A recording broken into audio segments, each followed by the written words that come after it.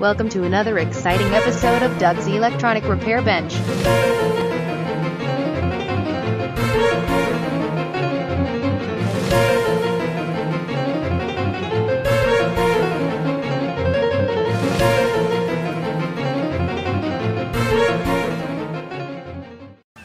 And we're going to call that good, I think. So let me go ahead and start snipsy snippy.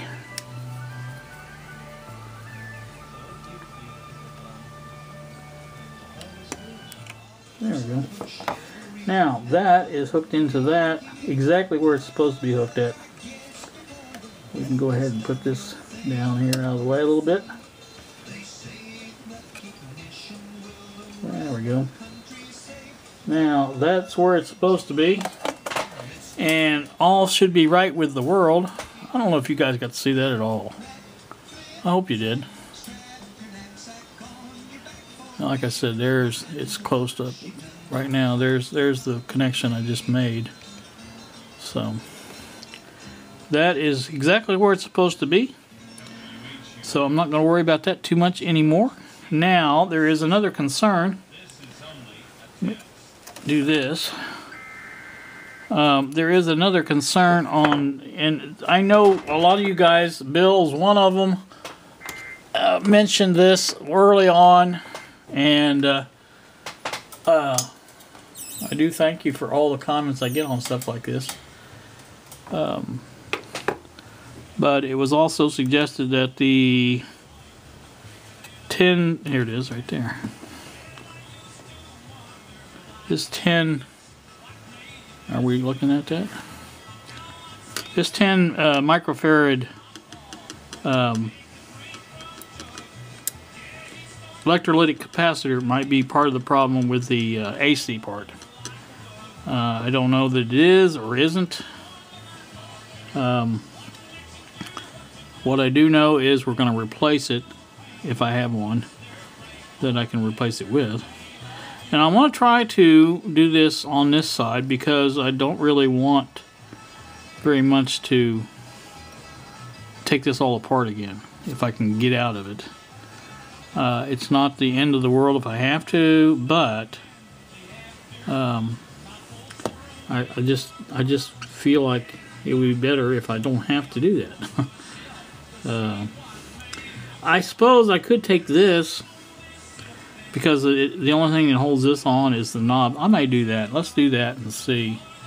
Um, some of this, by the way, some of this stuff you're not going to see because I'm going to edit this. And I did this last time with the, the bench close-ups and things like that. And I tried to edit them as much as possible to, to keep these videos to a, you know, a reasonable time length. So that's what I'm going to do. In fact, I'm going to, I'm going to turn this off and uh, go uh, take this apart and then bring you back. Alright, we're back again. Trying to point this out to you. This is, you know, this one here is one end of the uh, of the uh, electrolytic. I'm gonna try to get it out first. We need to get this wire out of the way. So what we're gonna do is sort of gently persuade it to go another way.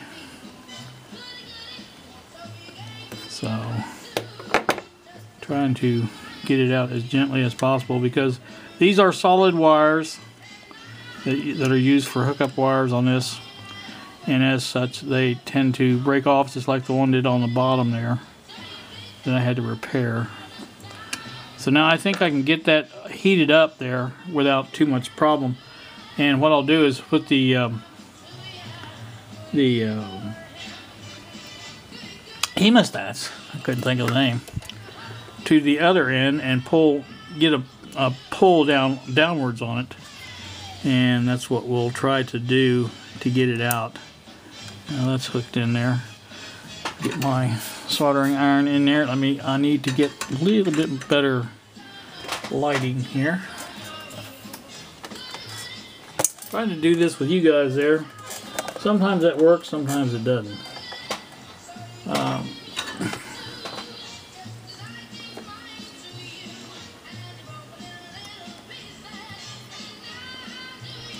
there we go. That was easy to do. I just hope it goes back as easy. So you're going to see, let me turn it over here. Let me get this out of the way.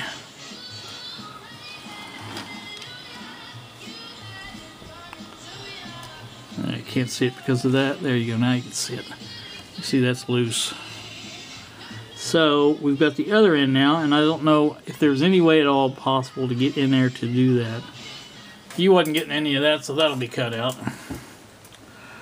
Let's turn this over and see what we can find on the other side.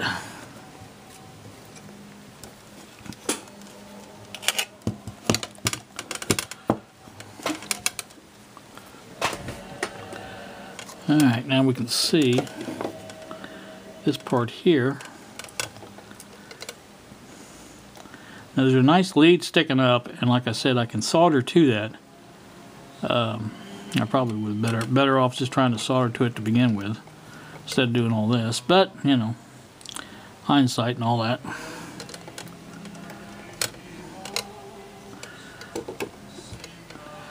So I can snip that. I can see easy enough. I don't snip my fingers first. I'm going to put you guys out of the way and, and do this because it's going to require some sight. So, Alright, I'm going to bring you guys back over here. And you, you're going to have to behave over here now because there's things going on over here, you know.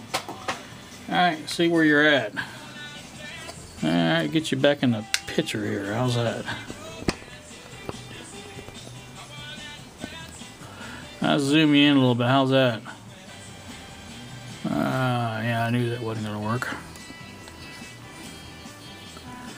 Let's just move that. That's the best way. I've got the uh, capacitor hooked in now, so let's go ahead and press the button.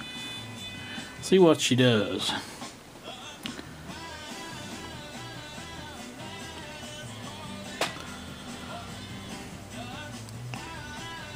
Alright, well, ESR 5.6. That's, that's kind of high. 47.2 microfarad. This is a 10 microfarad. Uh, loss is 6.9%. I'm going to say that's a bad cap. Uh, not only because it's way, way out of uh, range, but uh, the ESR, ESR is so high, and uh, I just think it's not a good one. So I don't know that that's got anything to do with what we're doing, but we're going to, like I said, replace it. All right, there you got the uh, what I think is going to be a replacement ESR 2.7, 10.3 on the uh, microfarads. That's pretty close. So I think what we're going to, and it's a 50 volt cap, so uh, you can see the, the size difference. It's even smaller than the, the one that was in there. So I think that's the one we're going to go with, and I'll bring you back for it in just a bit. All right, back with you one more time. What I have here now is the new uh, capacitor in and we're going to show you how I have it wired in. The uh, positive end goes right into the circuit board the same way as it came out. See if I can't get you a little closer here.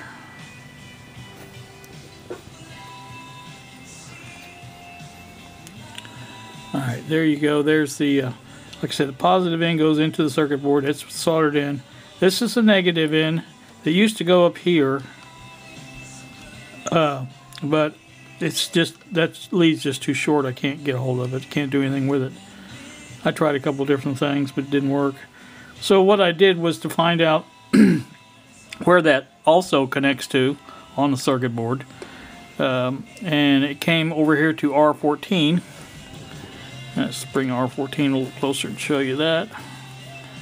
There's R14 right there, and I checked it with the ohmmeter this end is the same as this point over here. So this is where we soldered it to. And I just have a little connecting wire between them. And I did check the continuity between the uh, actual uh, lead of the capacitor and lead of the resistor. There is continuity there. So that should work just fine. There should be no problem at all with that. And uh, I think that's that should work out good. So, um, like I said, just a little altercation, alter, well, whatever. But uh, I can lay that back down like it was. So that's basically the same thing as it was. As long as the uh, electrical electrical connection is the same, there should be any problem with it. This is a, a ground type of connection anyway. I'm not saying it's the ground, but it's it's a, a thick line on the uh, uh, schematic, and you can always tell by thick lines are usually common wires. So, anywho, that's connected now, and we have the lead fixed, and we're going to do some testing, and just to see what it does. I don't expect it to do much different than it did before, to tell you the truth, because I really haven't done much. Uh, although this uh, resistor, resistor, capacitor was bad, it was not that bad. I mean, it was not shorted, put it that way. So, all right, I'm going to turn you off and bring you back when I have this all back together and try it out again. All right, we have the uh, meter back together. Uh, I'm going to put it on AC ohms and we're going to put it on a voltage range. Let's see, get this to the right range. I'm going to put it on 10 volts. That's a voltage range. I'm going to turn it on AC volts. And I have that done. Now we're going to turn it on. Hey, hey, hey, looky there. I believe we have a winner. Let's see if we can zero it. Looky there. How about that? I would have never guessed that that would have fixed it. Obviously it did. Between the two things that I did, I don't know which one fixed it better, but it did fix it. Uh, I'm going to double check the uh, ohms range, just in case. So let's do that now. Can see any difference there. Let's turn it off and turn it on and see if it does exact acts the same way. It used to go over then come back. See if that still happens. Yep. Looky there.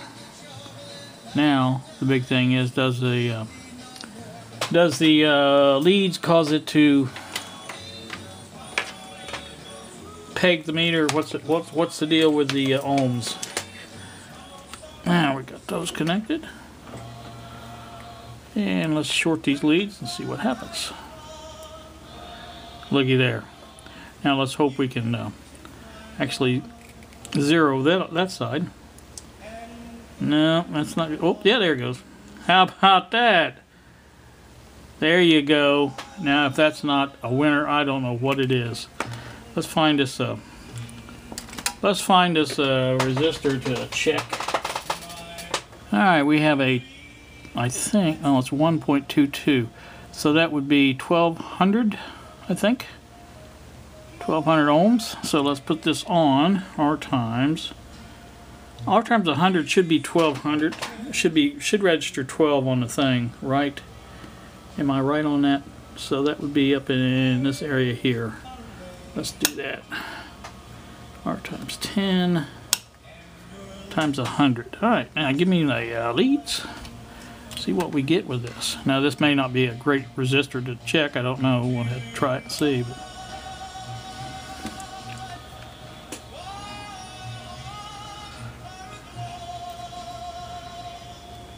But get it on there. There we go. Alright, it's measuring seven. Seven thousand? No, seven hundred? Yeah, seven hundred. Hmm, that's not exactly right. But again, it hasn't been calibrated. Uh, nothing's been done to it. Maybe some bad precision resistors. This is not why I bought this meter. I have many, many, many, many meters that do much better job of this than this and this is primarily for AC volts for measuring um, for aligning receivers uh, you know you naturally want it to work as best as it will but uh, it the fact that it is working means a lot to me anyway. So I'm gonna I'll tell you what I'm gonna do. I'm gonna measure that with the uh, digital multimeter just for the heck of it. Oh yeah we're measuring 1336 ohms. So that's obviously not correct on the uh, meter, but you know, again, the fact that it actually works now is a big plus to me. Those are just, uh, again, precision resistors in there that may be out of tolerance. Who knows? Could be a lot of different things. I do want to try the um, AC voltage to see where that's at while I'm here. If I can get this hooked up without too much problem. Alright, back with you again. I have the uh, hooked up now to it. Um, don't have this on. I'm going to turn it on. And comes back down. There we go. There is a slight voltage on that. Um, let me take it apart. Make sure I get my zero for correct. Yeah, see here. There's some AC voltage around this. Let's see if I can get this down. Yeah, I think that's there's too much AC voltage straying around here. Let me turn this back or put this back on. Let's just go ahead zero it from there. Right there. Alright. Now we're on the 30 volt range. And we're going to take this up a little bit. And we have 6 volts on there right now. And let's go for 10 volts. Right there, 10 volts. And now 11.1 is what's showing on the, uh, as you can see it in the background there. Again, it has not been calibrated. So that has to be done. It's not bad, bad now, really. 10 volts, 11 volts, that's not bad.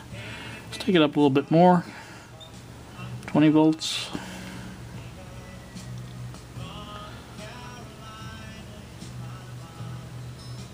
To get there on 20 volts.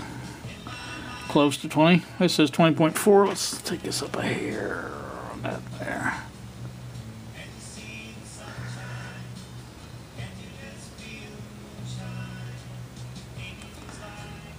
And like I said, that's that's close to 20 volts. Um, 20.8, it says 20.9. That's probably right on the money there. Goes up a little bit with the uh, line voltage. That's pretty much on it. I like that. That's pretty good. Um, let's go up to 30 volts.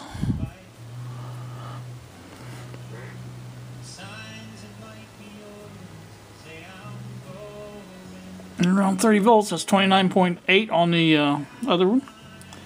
I'd say that's pretty much on. That's pretty close. I'm happy with that. Very happy.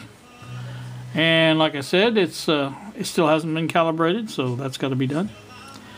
And that's going to do that. Let me double check some other things here, and let me turn this off first.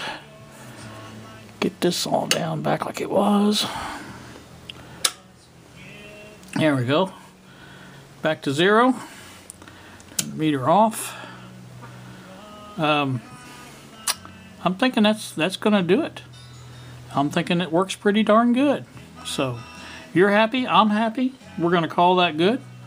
I've got things to do, uh, places to go, people to see, as it were.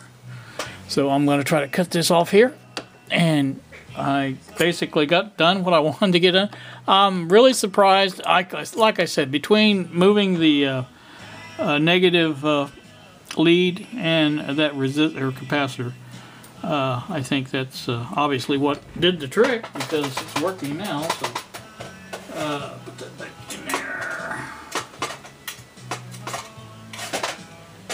right, so you guys have a wonderful day. Merry, Merry, Merry Christmas. Uh, this is Christmas Eve again. So you guys have a great day. Thanks so much for watching, and we will see ya.